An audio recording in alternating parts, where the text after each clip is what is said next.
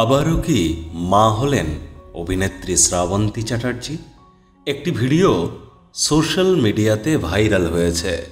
সেখানে দেখা যাচ্ছে, অভিনেত্রী শ্রাবন্তী ও এক অপরিচিত নবজাতকের খুনসুটি।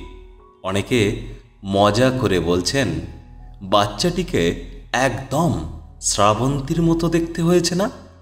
তবে অভিনেত্রী এখনও এ বিষয়ে মুখ খোলেননি।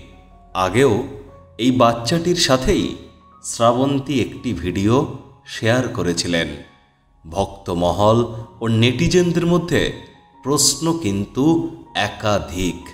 তবে কি এটি তার নিজস্ব সন্তান? আর যদি তাই হয়ে থাকে, তবে বাবা কে? বন্ধুরা, আপনাদের কি মত? আপনাদের মতামত? নিচের কমেন্ট বক্সে লিখে জানাতে কিন্তু ভুলবেন না। আর ভিডিওটি ভালো লাগলে এটি লাইক আশা করি করে দেবেন।